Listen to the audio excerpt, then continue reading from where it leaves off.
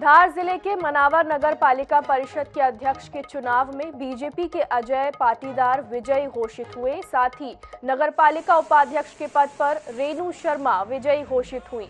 अध्यक्ष के चुनाव में अजय पाटीदार को 10 वोट मिले। वहीं कांग्रेस की लक्ष्मी जाट को चार मत हासिल हुए।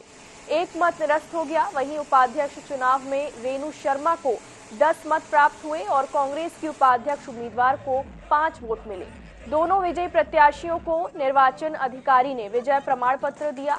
इस जीत से भाजपा खेमे में जश्न का माहौल रहा।